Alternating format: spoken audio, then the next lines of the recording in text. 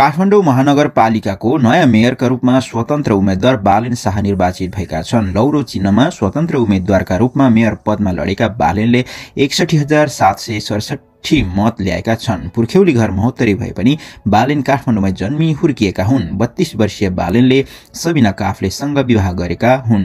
उनी चर्चित ऱ्यापर पनि हुन् र इन्जिनियरमा मास्टर गरेका छन्।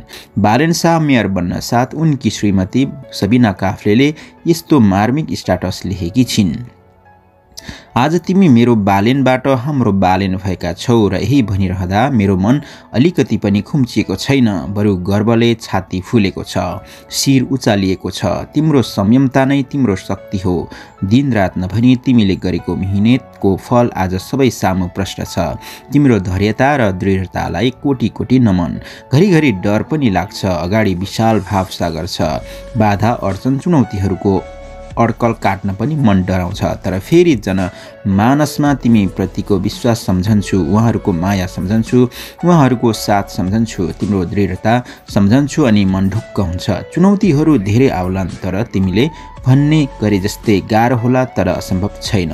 तिमीले आफ्नो कार्यकालमा कहीँ कतै नडक मगिने शक्ति मिलोस्। अब तिमीले जीवनमा पछाडि फर्केर कहिल्यै हेर्न नपरोस्।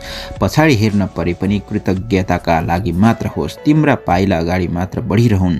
ती अगाडि बढिरहेका पाइलासँग साथमा साथ हिँड्न मेरो प्रेम मेरो विश्वास मेरो साथ अनि समर्थन तिमीसँग सदैव हुनेछ।